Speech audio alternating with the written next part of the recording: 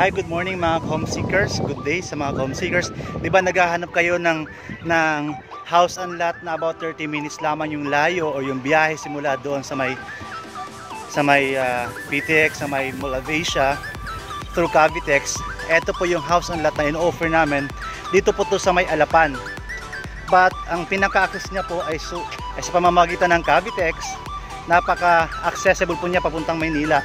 So guys, ganito po from Molabesia is ang tatakbuhin lang po natin dito is about 30 minutes. At nandito na po tayo. Townhouse po siya offered through bank financing po. Ang, ang turnover po dito is complete finished. Ibig sabihin nakatiles na po. Meron na rin po tayong kwarto sa taas. 2 bedrooms. At nakatiles na po yung ating mga floorings dito. Ang maganda po dito sa bahay na to mga kapatid, mga kaibigan, mga comseekers ang turnover po nito ay ganito, meron na po siyang car park. Okay, so ibig sabihin kapag dumating yung batas, dumating man yung law na no, no kotse, ano, no car park, no kotse policy, wala na po tayong problema sapagkat may car park na po yung units dito.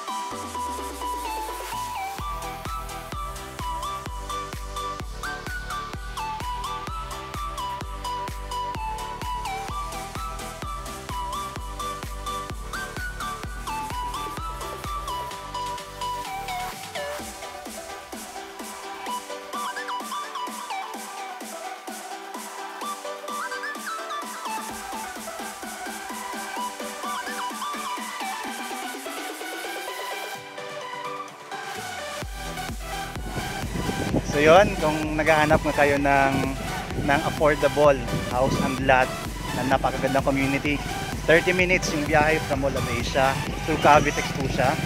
So andito po ang hinahanap ninyo. Ito po yung sagupan ng Ingus pero yung access niya is sa Cavitex. So papakawit po to. Cavitex papunta po ng Molabesia. So guys, few units available. May under may may under construction tayo ngayon. Mas mabilis lipatan. Okay? See you here.